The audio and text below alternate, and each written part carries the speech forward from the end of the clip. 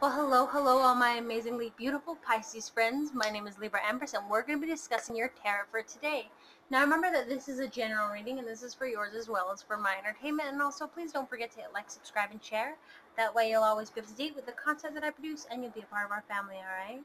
Alright, let's get going, shall we? Now, my beautiful Pisces, we're, we have here three piles with three clarifier cards attached to each of these main cards. Alright, so past, present, and future. Now when we get to the future, remember that it is not set in stone and that it can change anytime you want to. Alright, I mean, there are some things that are unavoidable, but you can dodge them, or if it's not meant for you, it's not meant for you. Do you know what I mean? See, it'll res resonate or it won't. And if you don't like the way it's going, you can, since you're being able to see it coming your way, if this resonates with you really well, then what you can do is come at it sideways and it won't expect it. Alright, let's get going, shall we? Now, my beautiful Pisces, your past energy is the Two of Cups. Alright, you were, you know, you were in balance.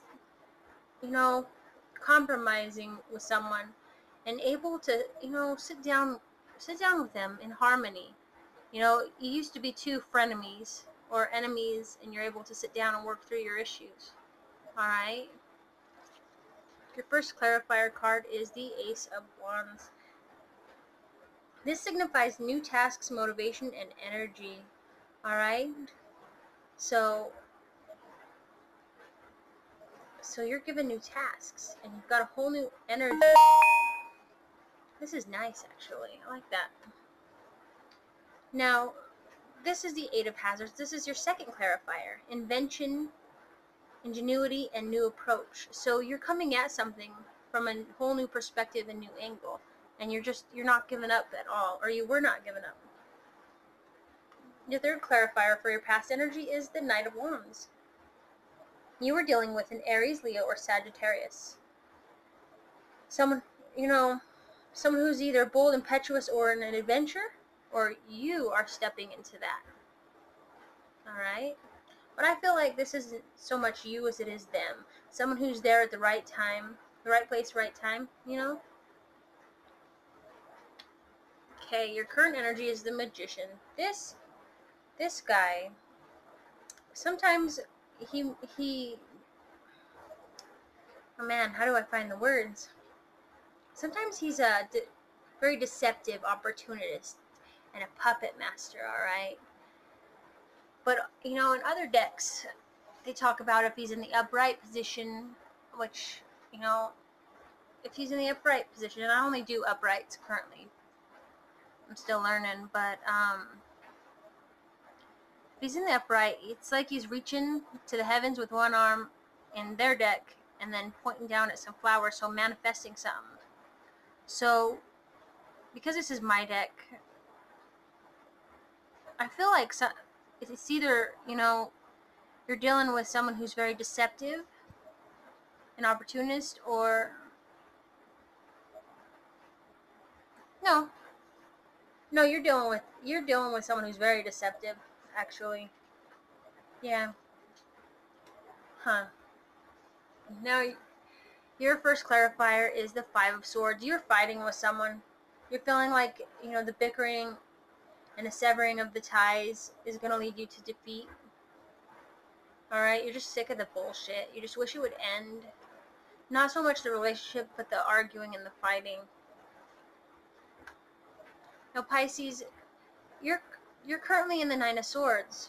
You know, you're very paranoid, full of anxiety, and you feel like there's no hope. There's nothing but hopelessness. But let me tell you something. It's as busy as you are, this is all in your mind, alright?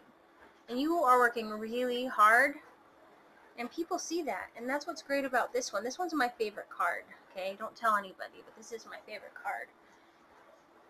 This card symbolizes possibilities financial rewards and new beginnings all right? This is the ace of hazards. This is an earthly sign if that makes sense.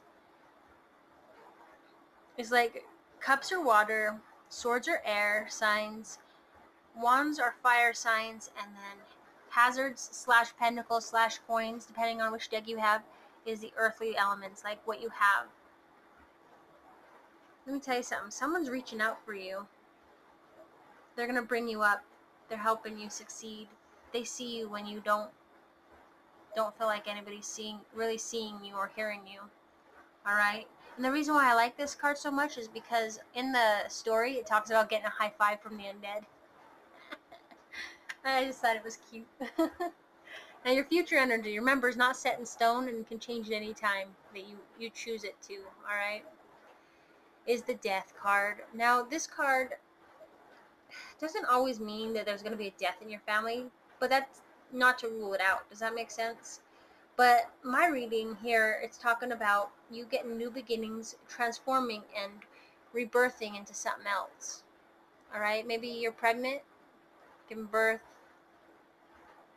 Maybe it's an end of a bad situation and the beginning of something better. First clarifier is the two of wands. You have choices to make, alright? You have to you have a crossroads. You have the decision. Do you want to go after him or do you want to go after him?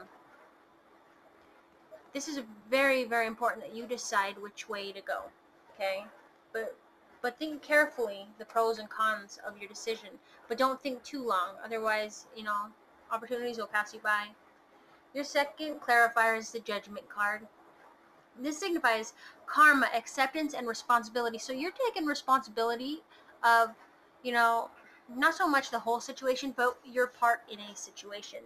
You're taking responsibility that you're cutting ties and you're not you're not going to be a part of the drama anymore. All right? And with th that being said, you are stepping into your empress mode, all right? Fertility, maternal and success. Here's the deal. Each of us, it doesn't matter if you have a penis or a vagina. Okay? If you're male or female. We each have male and female energy within us, kind of like yin and yang. And each of us aspire to be, for the female to become the empress.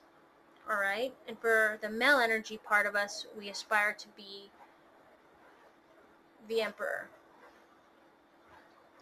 I know that sounds confusing, but in a normal deck, they're like the mother and father of everybody. They, they're very wise and loving and don't put up with shit from anyone. But you Pisces, my beautiful, beautiful Pisces, I'm talking to you. You are an empress. And that's what's so great about this is that you went through some shit. You fought, bickered, but you know, this is just the roller coasters of everything. Okay, life is nothing but a roller coaster. On the bottom of my deck, I have him. This is the Page of Cups. You're dealing with a Cancer, Scorpio, or yourself, Pisces maybe someone else, right? Very creative, kind, and artistic. But he's also a soft stalker.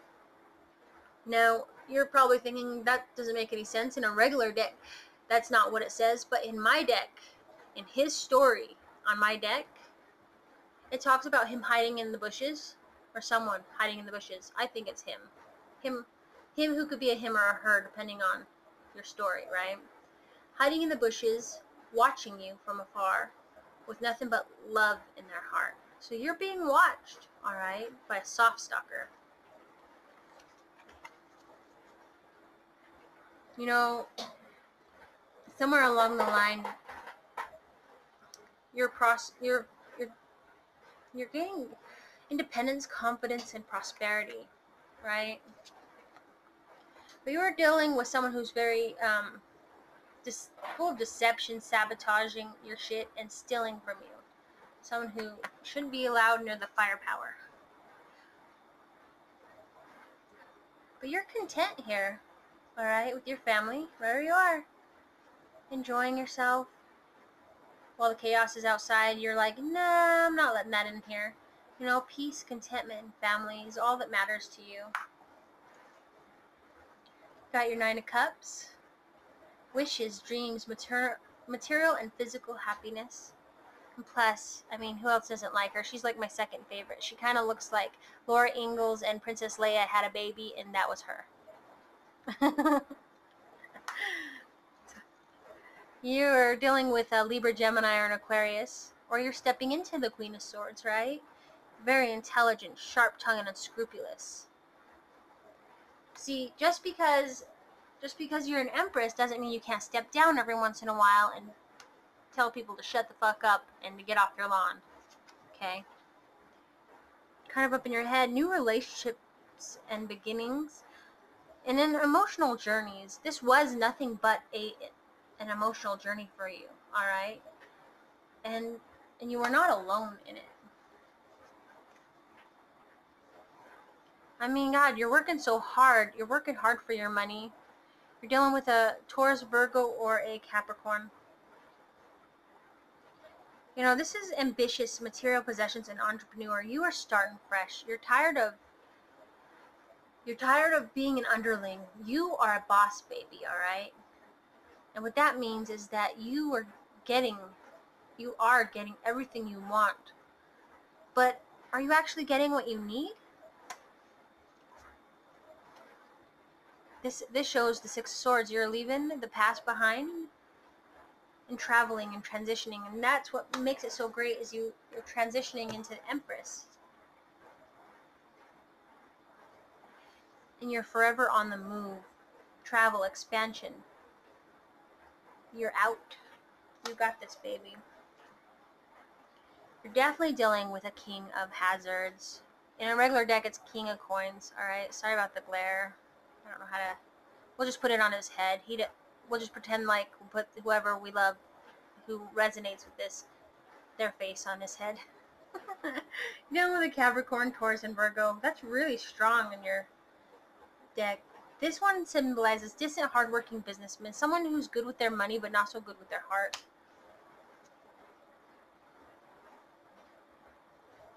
You're very, you know, responsible, determined determined you have a new beginning. Also dealing with another Capricorn, Taurus, and Virgo. But remember what I said earlier, you have so many options. You have to pick between those two, you know, between those two, what you're going to do and how you're going to do it. You've got to make yourself happy. That's the number one. And by doing that, you got to realize how amazing you are. You've got choices that you have to consider and, you know, you're kind of daydreaming, and that's great. Now, I'm going to let you go. With that, I love you. I hope that this helps. You are going through something currently, but it's not going to last forever. It's going to get better, I promise you. It always gets worse before it gets better, but you know what? It's all in your head. That's why you're very nervous. And with the fact that you're you know, you're coming together, getting new, more tasks from work if you're working. You know, you're creating something new. You're definitely with a Sagittarius, um, Leo, or Aries. Virgo, Capricorn, um, Virgo, Capricorn, Scorpio, Cancer, Pisces, and Aquarius. So, all in all, I love you. Thank you so much for listening to me. Oh, and you know, currently this isn't gonna last forever. Okay, you're gonna work shit out. Alright, I will see you for next time's tarot or tomorrow's daily horoscope, alright? I love you, my beautiful Pisces. You keep being amazing, and if if you got any issues and you'd like to talk, and you, you don't know who to talk to, you can talk to me anytime you want. Um, if you don't feel comfortable leaving a comment on my wall on my YouTube channel just um, or on this video it's okay what you can do if you want to reach me is go to the about section on my um, YouTube channel and look up my name and then find me on Facebook Messenger and just let me know hey I'm that Pisces that and, and you know from the video and I really need your help and I am no one, I don't have anybody to vent to. Can you, can you help me out? And sure, I'll help you out. I'll bring a new perspective. And you know what? And don't say sorry. Do not say sorry for interrupting me. If I don't get back to you immediately, it's because I'm probably asleep because I'm a vampire. I sleep during the day. But um, I will get back to you as fast as possible, humanly possible, alright? Now I love you. Bye, my beautiful, beautiful, beautiful friends.